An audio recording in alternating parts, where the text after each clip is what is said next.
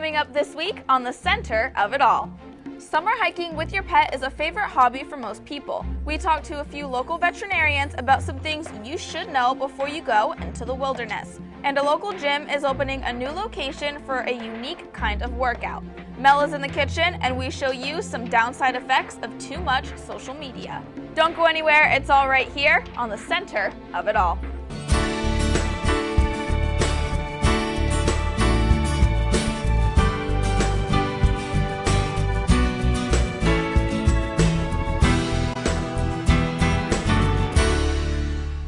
Good morning, welcome to the center of it all, May and a time for Mother's Day.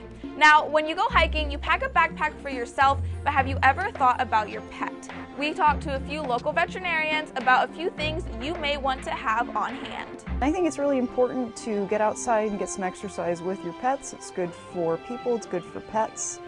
And I wanted people to have some tools so that they can have fun, um, but do so safely and avoid some common emergencies that I see in my profession. Uh, minor lacerations, sprains, strains, um, heat exhaustion and dehydration are pretty big concerns too. The best thing that you could do is actually monitor your animal. Watch, watch for panting that's uncontrolled, that they, you know, seem to be panting on, um, very heavily. If they are slowing down, Um, watch for them to show signs of being tired, sitting down, not really wanting to continue to pursue. Um, instead of being interested in their surroundings, they start to um, stand uh, exclusively by you and walk with you instead of venturing out and, and being interested in things. if they seem at all weak, you need to give your pet a break, get them some water. Um, and if they're not recovering, that's a time to seek veterinary care. Those are all signs that an animal's tired and maybe overheating as well. For most pets, getting them a drink, giving them a chance to rest, and calling it a day, they're probably going to be fine. Uh, there's three main vaccines um, uh, that when we're talking about dogs that we worry about uh, prior to any time that they're out in public. The first would be the rabies vaccine, which is required by state law. Um, that is definitely something that in the wild uh, you're going to encounter, you know, some type of animal that could have rabies. Any mammal could have rabies, so uh, having that rabies vaccine is definitely protective and necessary. The other two vaccines aren't required by law, but they're definitely recommended. Uh, the first would be the dis- uh, what's commonly called the distemper vaccine, which is actually a combination of four to five diseases that are in one vaccination. Uh, and the other one is the Lyme vaccine. Uh, Lyme disease is relatively prevalent in this area, uh, so we are recommending most dogs that go outside have the Lyme disease vaccine as well. There is a vaccine actually for rattlesnake bites. So, having a vaccination for rattlesnakes is something that, if you're aware that rattlesnakes are in that area, your pet should have. If your pet is the type to go after porcupines, you may want to consider keeping them on a leash, especially spring and fall when they're more active. Whether it be bee stings or uh, porcupine quills or uh, cuts uh, from running through things, uh, having a small first aid kit is not a bad idea um, so that you can clean a wound, um, you know, a little bit of uh, antibacterial soap, uh, some uh, little gauze to stop bleeding, those types of things can often be helpful. Carry Benadryl. Um, you don't have to, but if your pet comes in contact with um, a bee or um, a plant that it is slightly allergic to, you know, you may have swelling, hives, those types of things. Benadryl can help to reduce that. Now, your veterinarian has to tell you the dose and has to tell you if it's okay technically. You have seen your primary care vet, get your pet in for a checkup, and talk about what your pet needs based on their risk level. Probably the most important thing, especially over the summer, to take with you is extra water for your pet. Um, dehydration, heat stress can set in pretty quickly, and your pet may not tell you some of the early warning signs. You know, don't underestimate your dog's needs for water. Um, oftentimes, um, folks don't drink much themselves, so they assume their pet doesn't need the uh, doesn't need the water otherwise. But it, it absolutely, your pet needs more water than you do. Animals that are experienced hikers that go out frequently, less breaks are necessary. Um, the animals that are just starting, you know, giving breaks every 20 to 30 minutes so that you can ensure that the pet isn't becoming overheated and that they're getting what they need um, would be the best way to approach it. What kind of conditions you're in, especially heat, humidity, um, and other things like your pet's age and just how used to outdoor activity they are. Keeping them on a leash is always safer.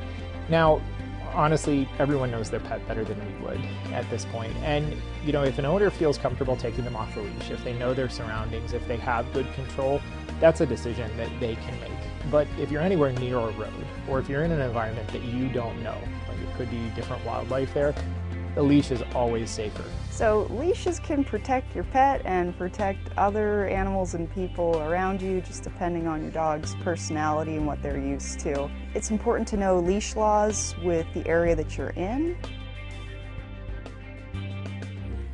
Both doctors stress to talk to your veterinarian before giving your pet any medications. When we come back, we leave on our hiking sneakers and head into the gym. Welcome back. Do you have a busy schedule and you feel like you just don't have the time to work out? One local gym is hoping to change that in the beginning of June. It started out as an empty room that needed a coat or two of paint. But what it will be is a room full of people coming together for one thing fitness. Victory, a local gym in State College, is expanding their services to Bellefonte. At 102 East, Victory is offering a place for people to get involved with their boot camp classes. Don't know what boot camp classes are? Empower will be boot camp fitness classes, um, which are basically body weight exercises using um, various pieces of equipment, being dumbbells, kettlebells, med balls, resistance bands, those types of things, not big pieces of machinery. All the equipment will be provided for you, you just need to show up ready to work. These classes are a little different because there's no big machinery when it comes to the workout, and it's done in a shorter amount of time. The ability for someone to come and get a full body workout in a short amount of time. You know, whether it be the half hour early in the morning before work or you know, before they send their kids off to school or go about their day, or the hour long class before work or after work or after school or you know, whatever would work for most people. So you're busy and don't feel like you have time to hit the gym. That's why these classes work so well. They get you in for your workout and right back out the door so you can get to your next appointment. So, when are these classes scheduled to take place? So Monday through Friday, we're going to offer what's called an express class. So that's going to be from 5:30 in the morning to 6, and then we're going to offer an hour-long class from 6 to 7 in the morning.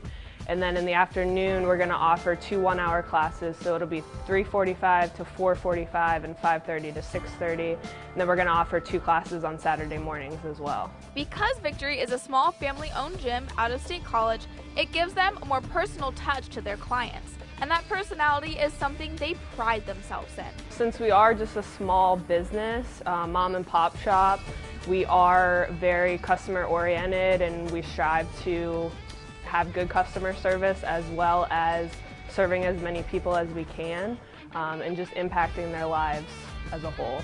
I would definitely say customer service. That's our number one priority. Um, you know, being there, getting to know people, helping them, empowering them to, to, you know, we are hoping to empower people in their fitness journey and give them another opportunity to do that.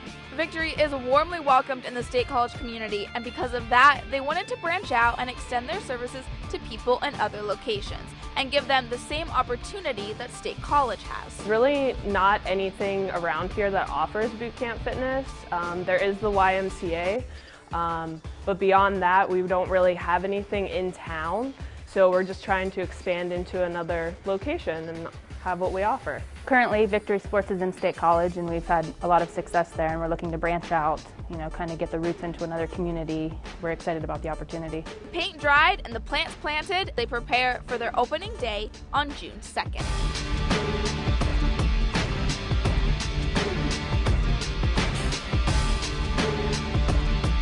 For more information, visit Victory's Facebook page at Empower Boot Camp Fitness. When we come back, Mel takes two recipes and mixes them into one.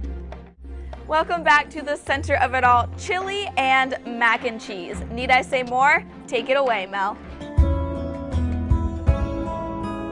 As a mother of three grown boys, I know a thing or two about making chili and macaroni and cheese. I know I made a lot of both for a lot of years and often. I also know my boys loved it when I made both and mixed them together. Join me right here at the stovetop today while I show you how to make my kid tested, mother approved chili mac. Chili Mac arrived in the American marketplace in the form of Hamburger Helper in 1971. It was really popular, but the thought of a box of dried pasta, powdered sauce mix, and seasonings didn't really excite me or my family. That said, my boys loved Wendy's chili and Kraft macaroni and cheese. So I simply set out to make my own copycat versions of both. And to this day, I wouldn't change a thing. Got about two and a half pounds of really lean ground beef. I'm using 90-10 in a wide bottom, uh, wide bottom four quart stock pot. And I'm gonna season it with about a teaspoon of salt, teaspoon of black pepper, and two teaspoons of garlic powder. I'm going to add about a cup, cup and a half of chopped onion, the same of green bell pepper, and the same a cup, cup and a half of red bell pepper. If you don't like any one of these things, just make up the difference with something else. Like you could put extra onion and skip bell peppers, whatever you like to do. I'm gonna put this on medium-high heat and I'm going to keep stirring it around and I'm going to saute this for about 15 minutes till the meat is cooked through, the vegetables are cooked through, it's reduced in volume by about a half and there's almost no liquid left in the bottom of the pan.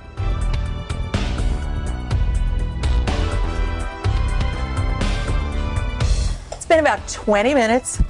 Everything is cooked through. Camera, if I don't know if you can get in here, there's almost no liquid left in the bottom of the pan, which is exactly what we want. So now I'm going to add a few more spices into this mix. And I'm going with Mexican oregano, cumin, uh, more black pepper, and Mexican chili powder. I'm going to give that a really good stir.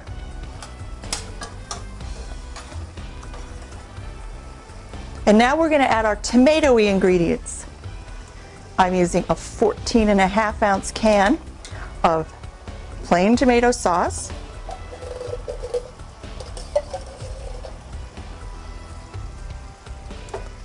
A 14 and a half ounce can of undrained diced tomatoes because I like some chunky tomatoes in there. And thanks to the genius of our middle son, he asked me to start adding a jar of his favorite Tostitos salsa. And that's just full of all sorts of good flavor. So we'll get this simmering, get it stirred in really good to get all the spices in through all the tomatoey stuff. And now our beans. And I like a lot of them. You can, you know, you can add a smaller can if you want. I like red kidney beans. So I'm just going to add, and these are well drained. You don't want to add any more juice to this.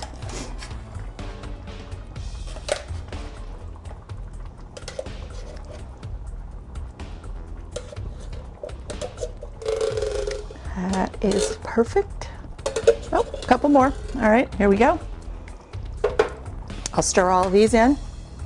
And I'm going to let this simmer for about 30 to 35 minutes.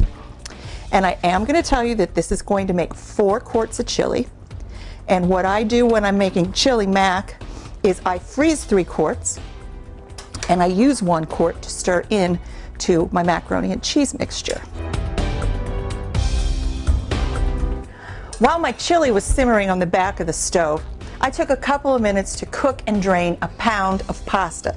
And please use tubular pasta, penne, uh, uh, anything that's got tubes in it. I use some pretty little cavatelli today because I like these spirals. I think they're kind of cute. And after I drained it, I tossed it with four ounces of butter. That's four tablespoons of butter. And I added two teaspoons of garlic powder to it. In the meantime, In my microwave, I melted one jar of Cheez Whiz. Yes, Kraft Cheez Whiz, in my opinion, makes the best imitation or copycat recipe of Kraft macaroni and cheese. As I was just telling Adam, my camera guy today, one pound of pasta, four ounces of butter, two teaspoons of garlic powder, and a jar of Cheez Whiz. Best copycat Kraft macaroni and cheese. Okay, that's all in there. Turn this down because just want it on real, real low heat. Let's just melt this in. Into the still warm pasta. Won't take very long.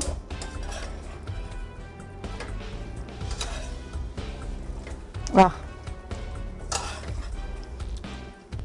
and one of the reasons you don't add any salt to any of this is because your Cheez Whiz is really going to make this, a, it's going to salt the pasta plenty.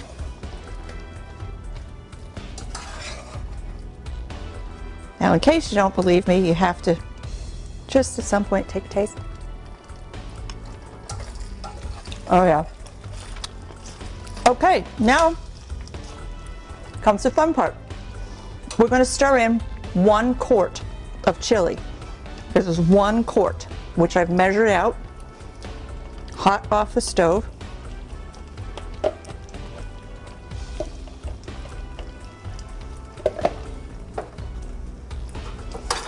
This all stirred in.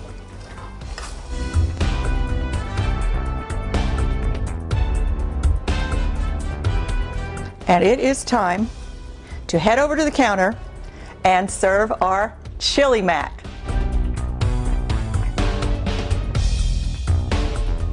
Take a tip from a well seasoned mom and grandmother like me.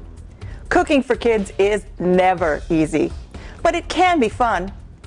Knowing how to cook a few uncomplicated recipes that they like, using a little bit of meat, some fresh chopped vegetables, and a few pantry ingredients goes a long way, and it's a smart way to show your kids that eating at the kitchen counter is a lot better than spending time at the takeout counter.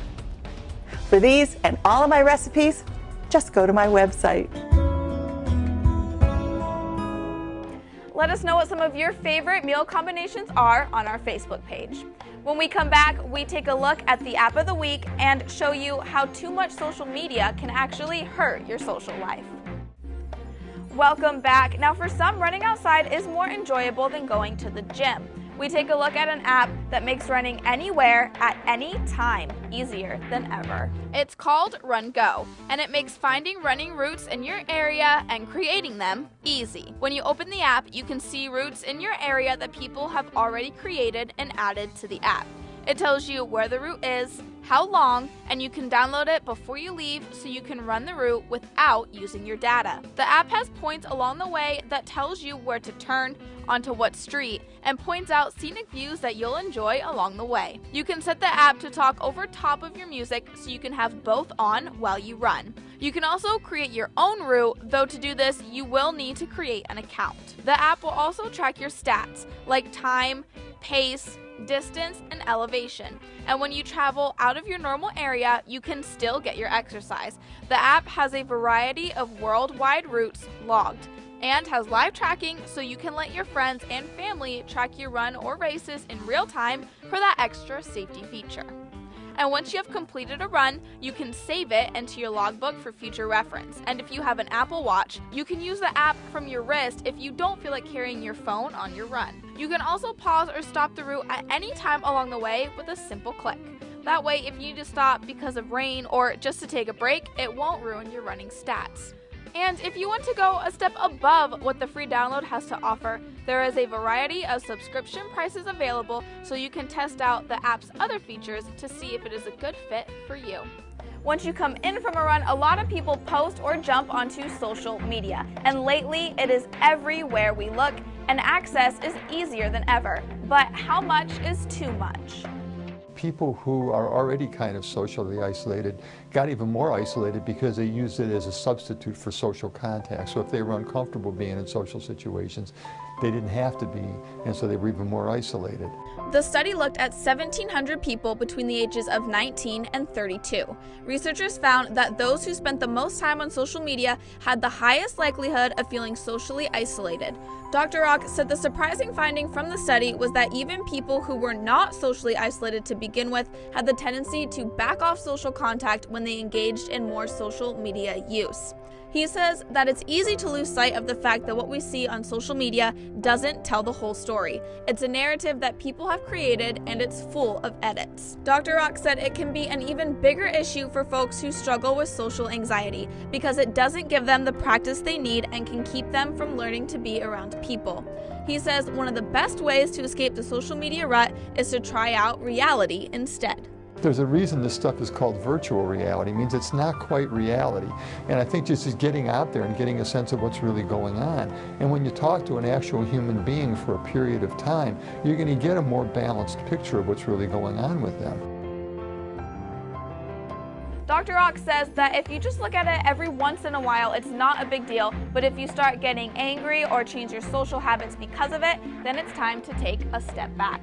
That wraps up this week's Center of It All. Thanks so much for watching. Be sure to check our Facebook page for any episodes you may have missed. Enjoy the rest of your week, and I'll see you next time.